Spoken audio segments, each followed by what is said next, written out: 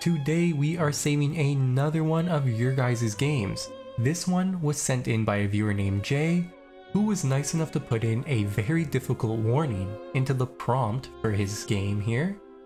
I'll be the final judge about if this is actually very difficult or not. Thank you very much, Jay. Jay goes on to say that he's surrounded by northern invaders as well as a bunch of rebelling subjects to his king, and he wonders if we can get him out of this position and form Greater Poland, which I think he means is the Unite the West Slavs decision. So will we be able to save this game? We're just gonna have to dive in and find out. Okay, so we are now in the game and you can see it honestly doesn't look as bad as some of the other disasters I've saved on my channel. Um, if you look down here, you can see we're in two wars, one which you're actually doing quite well in, the Independence War, and then the other one is the big one. Oh, heavens! The War of the Northern Invaders trying to take the lovely Kingdom of Poland. Um, and you can see these guys, of course, have almost 8,000 troops compared to our 2,300 troops. So a big disadvantage there. So those are the immediate problems that we have to deal with. But on the horizon, if we click on our player, you can see we currently have five kids and this one dead son we have here actually had a grandson before he died, meaning that um, if we, if our character was to die right now, our land would actually split into four pieces. So we'll be trying to figure out a way to get rid of some of our heirs so we don't lose all of our land when this character does die our long-term goal for this game is to actually finish this decision um, right over here to unite the West Slavs. So this decision requires us to gain all of this land you can see outlined in white here. We would actually only need to take these three duchies over here and then do a little bit of cleaning up right here, like this piece of land that belongs to France somehow. It was at this moment that he knew. He fucked up. So when we do get all of this land, I'm going to consider this game saved. We talked about the short-term problems, we talked about the long-term problems, and the long-term goal, but let's take a look at why this happened to you. So independence wars happened, and honestly, this independence war um, doesn't look too tough. Like if this was the only thing happening to you, you would be fine, 100% able to deal with it.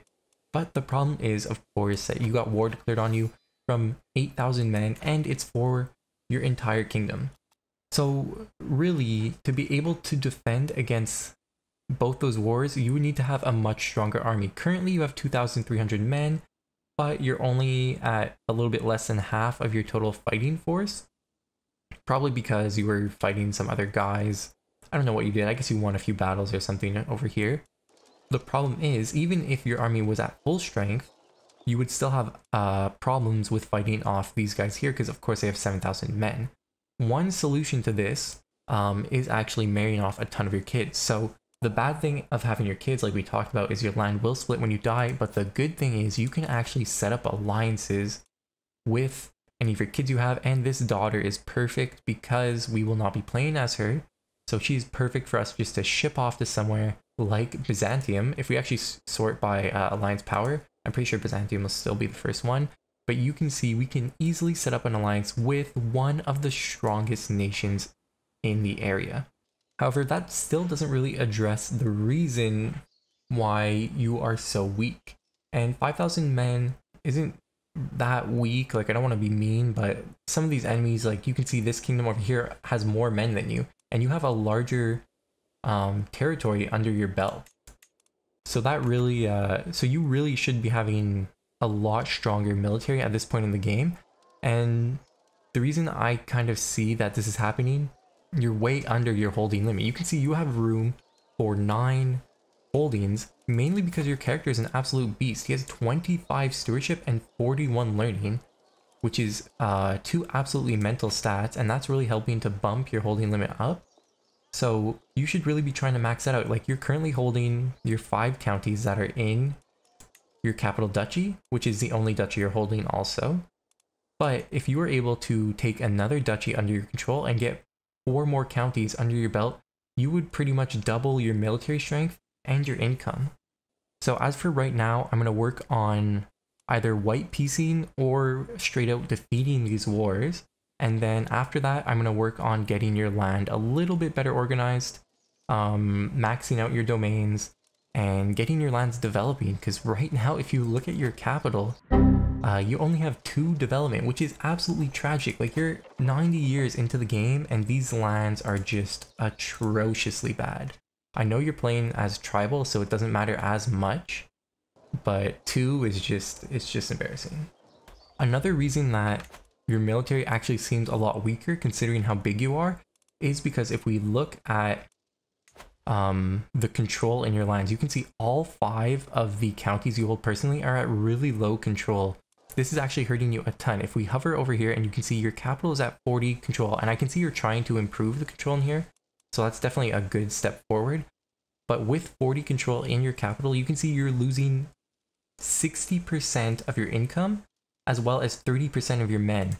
So if we look at all the counties with low control, you're missing out on at least um, one third to half of your total military power.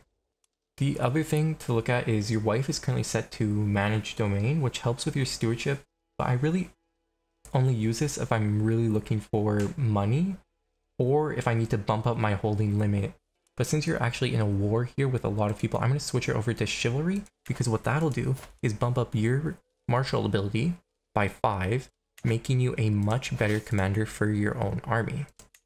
However, to remedy the control situation, I would have loved to be able to go over here and switch to the um, authority focus, which gives you, which gives every county that you hold personally plus 0.3 per month, and then picking up this serve the crown perk gives you another 0.3. Since you're already going down the diplomatic tree, I'm gonna have to wait another year and a half around to be able to switch that. Comparing those two perks, you can see right now with our marshal on incre increasing the control, you can see that's netting at 0.7. If you just have those two martial abilities, which only cost one perk, you're already gaining the same amount as if you were increasing control with your commander. However, it's in all the lands you hold personally. So it would be that times 5. So just incredible value. The first thing I'm going to do is actually just let this army uh, replenish its supplies a little bit. They're going to be able to do that pretty well because um, on this farmlands you get a huge boost to your supply limit. And that will actually let them also uh, replenish the numbers that they have over here. First we'll let this alliance go through with the Byzantines and we will call him into the war right away. I'm also going to call the Byzantines into the other war just in case uh, they're nearby and I'm in a battle with some of these guys down here. Oh man, it looks like uh, the Norsemen got even more allies in this war. 12,000 men now. At least here come the Byzantines, slowly but surely. So I could get this uh, blessed artifact which actually would give me a little bit of prowess, but this is what interests me. Faith, hostility advantage, that means since I am fighting Norsemen who have a different religion than me, because I'm Catholic, I would actually get plus two in any battle with them, as well as another plus two if I'm fighting in my own uh, controlled territory. So that actually might be worth 50 gold, considering we are also making almost one gold per month. We're not losing money just yet. Oh, it looks like my, my Byzantine friends got into their first battle down here. Kill him. Kill him now. So one thing I can do to try to limit my heirs is actually switch our son over here to the martial education focus and what that'll let us to do and what that'll let us do is um, whenever he's not a child anymore we can ask him to join the holy order and he might have a good chance of this because he's low down in our line of succession and it looks like the Byzantines have joined us here. So I think, um, I think I might have to jump in here and start fighting some of these Vikings. Okay, so it's been a year and a half. I'm going to switch right away to authority focus to help with our control. Because again, that's going to greatly help get our troop number up here. And I am now moving south in order to start fighting the northern invaders because they're actually almost at uh, 100. So I am cutting it close. Okay, so we did hit 100 in our first war, which is pretty huge. That means I get to lock all of these vassals away. Uh, I could revoke their land right now, but I think I'm just going to hold off. I'll focus on this war right now, and then I'll kind of do the whole land uh, redistribution thing with all of these vassals who are now in jail. Hello, darkness, my old friend. Okay, it looks like our forces are already here. Oh yeah, I called in um, the King of Bavaria into this war as well. Um, it kind of worries me of how far away these guys are standing from us, Are you crazy?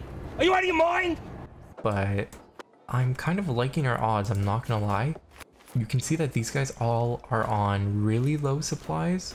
That gives them a huge decrease in their damage that they do, as well as just straight up attrition.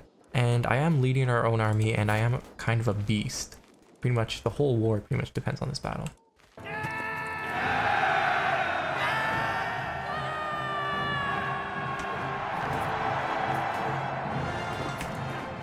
Okay, so you can see these guys are really trickling in here, which is bothering me a lot.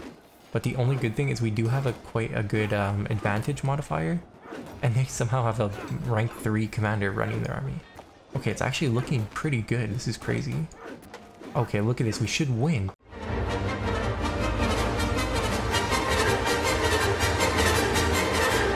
We lost almost 2,000 men, but they lost over 3,500.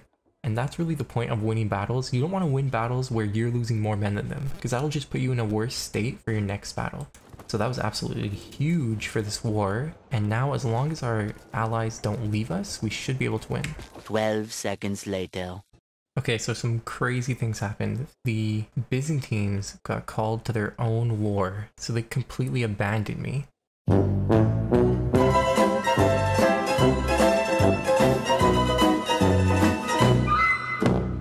That's like 7,000 men we didn't have access to anymore. There were some stragglers up north from this big army, so I chased them up north, got some good kills on them. As you can see, we stacked kill. um, three small armies, and now it's just me and my Bavarian friends. This is a good portion of the of the Norse invaders army, and it looks like they're coming to attack me on this tile. And you can see we have an absolute crazy advantage from this tile here. So let's see them come in here. So just like that, we killed a ton of men while barely losing any. My army is also replenishing quite strong because our control is increasing really fast ever since we were able to switch over to the authority focus. Okay, looks like we have more stragglers over here. I'm going to try to run in and get them. You can see that's pretty much a free 700 kills. And now their army is down to just 4,400. We can pretty much take them on our own. Okay, so you can see both my armies are at um, 94 out of 100 supplies, meaning I should be able to run over here and absolutely spank these guys.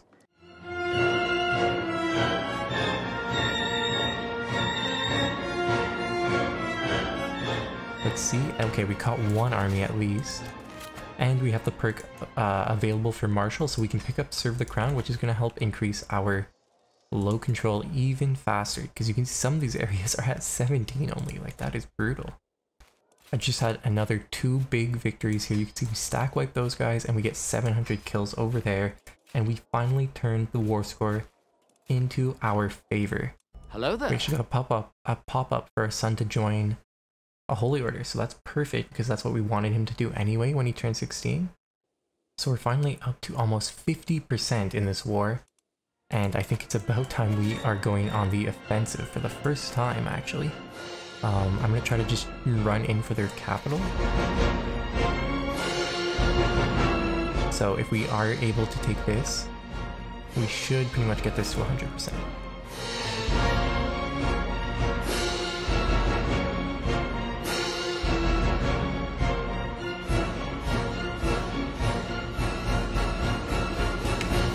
There we go.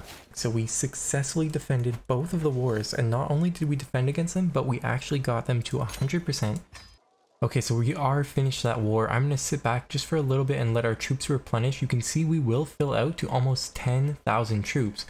And we still have the exact same counties that we were holding at the beginning of the game. So that just really goes to show you how important control is. Because the only difference from now and the beginning of the game is we are at full control in all five of these counties um, which we're holding personally. Actually, we're still not at full control here, so I'll go ahead and put my my marshal on increase of control here. That should soon bring us to 10k. Something that we'll definitely have to do no matter what is take away um, this land over here from these from France and this small county. and it looks like France is in a lot of trouble right now. They only have uh, about 1,000 men, with two wars already being declared on them. So I don't think I'll find a better time to try and take this land away from them. Unfortunately, it unfortunately these two counties are from different duchies, so I can't declare war for both of them at once. So I'll have to do one at a time here. Having onagers will greatly increase our siege progress, especially against all these tribal regions that are nearby. And it looks like our vassals were actually able to take um, this other county here themselves, so that's very helpful for me. Oh, and it looks like my vassals are already declaring war on this whole duchy over here also, so that's a, another great help. So what I will do is go over here and declare a war for this duchy. And then I'll have to do the same um, with Pomerania just after that.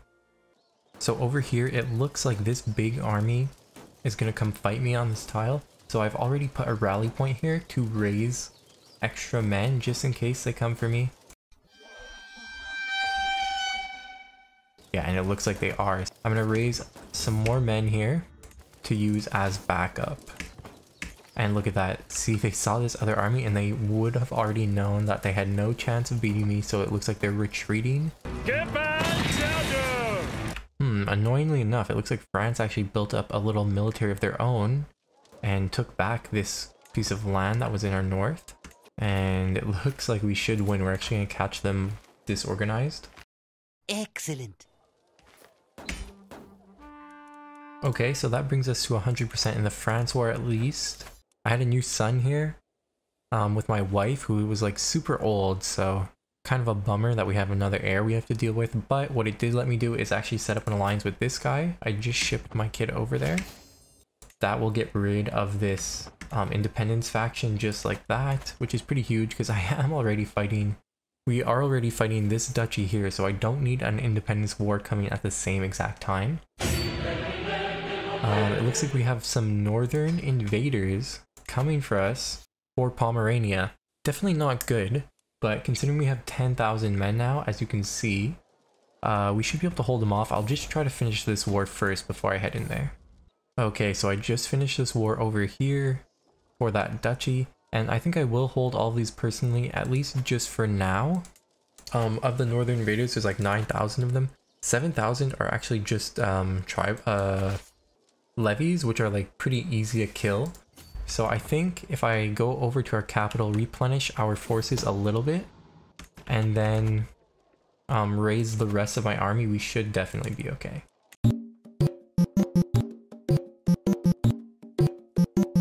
Okay, so here you can see I raised all my army, and I think actually if you look at this, we can actually do a double battle, which is kind of sick. Let's watch this play out.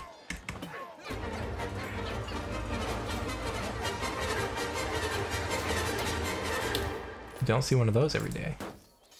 So we reduced their size by half already, so I don't think I need uh, as many levies as I have raised right now. Oh man, there is a lot of wars happening in this game. We have another war declared on us, but this time with uh, a religious rebellion. So that's annoying, but not awful because it's only 5,000 peasants it looks like. So I just jumped in here with these peasants and we should be able to kill them pretty easily.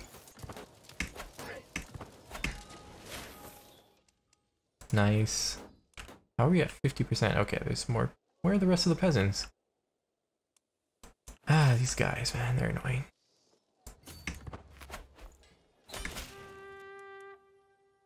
What? What is this, another peasant uprising? Man, this is getting irritating. That's a lot of damage. Gotcha, bitch. Ah, there's the last of the peasants from this other one. Okay, so once we get these guys, we'll definitely be finished. They're dead. Every single one of them. And not just the men, but the women. And the children, too. They're like animals. So now hopefully that's enough of the defensive wars for at least a little bit of time. I would like um, some time to at least think and plan of what I'm going to do next. So what I'm at least going to do with all this money and prestige is buy some more buildings in these counties um, where my capital is. The reason I'm going to do that is because investing, if you buy the tribal buildings, they'll actually get upgraded to the feudal ones once you switch. These tribal buildings are actually really powerful, like these war camps are better than any of the military buildings you would get in the feudal one, at least for the tier 1. The advantage of feudal buildings only comes because you can upgrade it like 10 times. So it's only around like tier 4 I want to say where the benefits outweigh these tribal ones. And that's kind of why in the early game you can have these crazy tribal realms that have so much military and are so strong that even you as an early feudal age uh, realm, you could have a lot of trouble dealing with them. So what I'm going to do is pick up uh, war camps. Well, the first thing I'm going to pick up is markets anywhere we don't have markets because like it's a pretty good value for your gold income. If we already have a markets, I'll pick up a war camp. And if we have neither of those, I'll pick up uh, the gathering halls. And even if we do have a good amount of gold left over, it's actually not the end of the world because it's not like you lose it on death anyway. Like this will just get transferred down and you can always invest it at any time. So I honestly don't mind having a gold surplus. So I know I said I was sick of wars, um, but I think I might do a triple war here. Just because these guys are weak, this is a tiny county, and this is a tiny county. So we should be able to get all of these. Another one. Another one. That was easy. I love that 100% after literally two seconds. So that's one war done already. Once I take this one, that'll be that one over, and then I can go move and deal with the war in the north. Number two done. Okay, so once we take these guys capital, it should pretty much be over. Okay, so 100%. All those three are done. So I can do a holy war for this duchy here, which is, um, this is the exact borders that we need to unite the West Slavs. Nice, so one of my sons actually died, which is good for our succession. Not good for our mental health, but some things are more important than others, I'm not gonna lie. Alright, this one is finished. So it looks like France actually gained quite a bit of strength here, mainly through alliances. You can see even if I were to declare war on them, they have a max strength of 6,000 while we have uh, 15,000 men on our own. So I think I'll just declare war on him right away. I don't have that much time to fool around, you know, doing murder schemes and all that.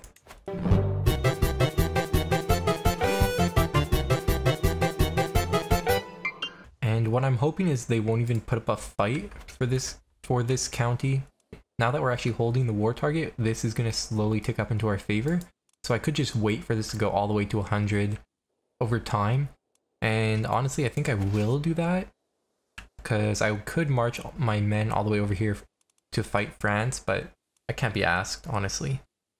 I have to worry about how I'm going to wrestle this land away from the Nords here. So unfortunately for France, it looks like they have sent in some men here.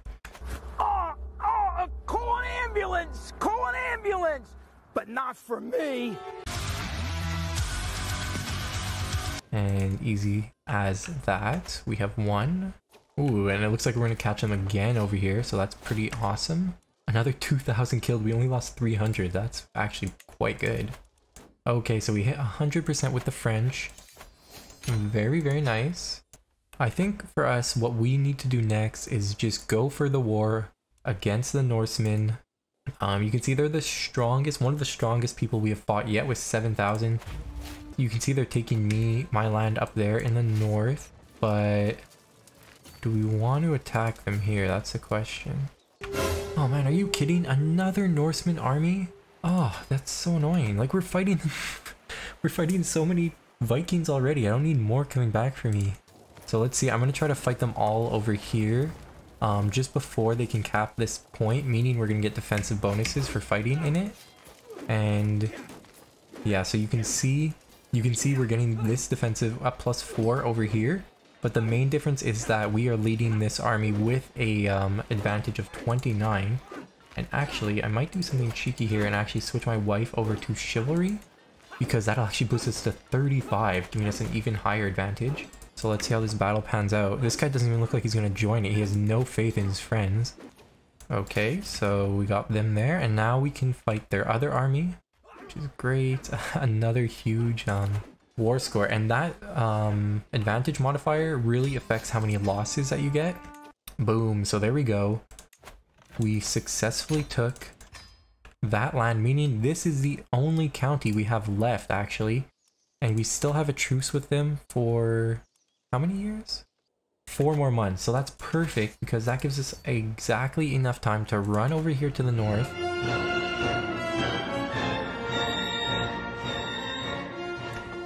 Which should be quite easy.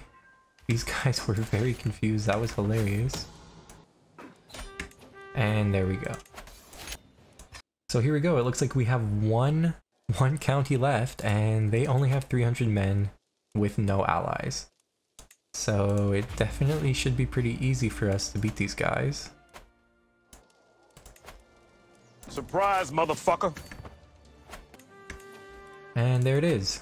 You should you should be able to see that um, purple notification pop up there, which will be um, the decision to unite the West Slavs. As you can see, we have a beautifully large Polish kingdom right now. And I have to say, I think I did quite a good job of saving this game. So you can now see I am holding these two duchies pretty much um, with all the counties belonging to myself as well.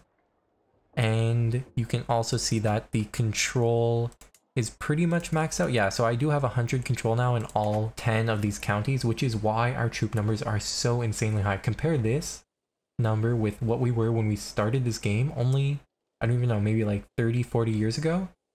And that just goes to show you how important it is to keep your domains at your max or maybe just one above and to keep the control in all of your domains at 100%. But let's go ahead and just complete this decision. We'll unite the West Slavs. So there we go. We finished the decision. We fought off all those wars. This was a very war-heavy episode of Save Your Disaster. Jay, you are perfectly set up here if you want to continue this game. Maybe even go for the decision of uniting the Slavs next, um, which requires you to hold a, a ton of land, I'm pretty sure. I won't actually make the decision for you if you wanted to go feudal or not, because you can have a pretty strong time as tribal as I showed you, especially if you go and max out all the buildings. And then if you wanted to stay tribal the whole game, you could even just go to fortified tribal holds, which would again increase your strength by a ton. But you can see you're already making like 20 gold per month almost. Um, a good amount of prestige considering that you're losing a lot for the uh, unraised men at arms. And we even have enough renown. So succession wise, now that we have the now that we united the Slavs, it actually puts all these kingdoms under one de jure kingdom, which is the one that will be passed down to our son. So you can see there's only one kingdom that would actually split off from us, and it's going to this son here. And personally, I would probably let this happen because it's going to net you a really healthy amount of renown in the long term if you can keep this kingdom alive and uh, with a member of your dynasty in there.